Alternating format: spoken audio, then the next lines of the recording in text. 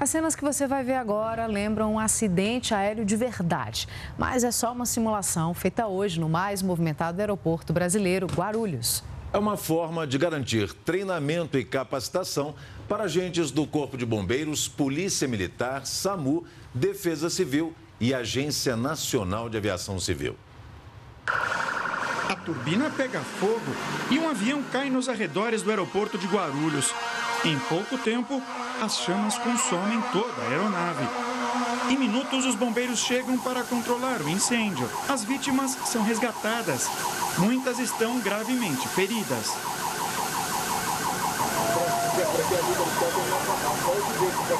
Nada disso é verdade, mas poderia ser. Trata-se de um treinamento para articular as ações dos agentes que atuam em acidentes aéreos. Assim que são resgatadas, as vítimas são encaminhadas para esta zona de triagem, que fica em uma área mais afastada do local do acidente. Na zona verde ficam as pessoas que não sofreram ferimentos tão graves. Já nas lonas, que são de cor amarela e vermelha, estão os pacientes que demandam melhores cuidados. E aqui recebem os primeiros socorros. A prioridade não é, é qual paciente nós vamos atender, mas quanto maior o número de pacientes conseguiremos atender. Ao todo, 20 instituições participam da simulação.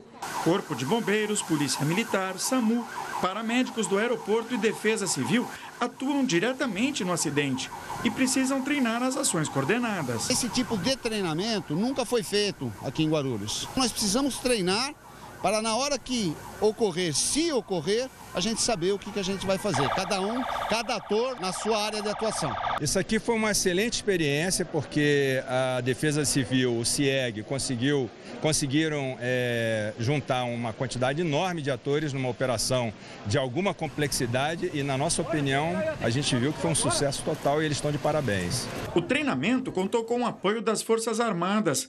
As 90 pessoas que desempenharam o papel de vítimas são recrutas da Força Aérea. Se tiver que acontecer, a gente saber como lidar nessa situação. É uma experiência única, senhor. Tá todo mundo já preparado para se caso acontecer algo desse tipo. É perfeito.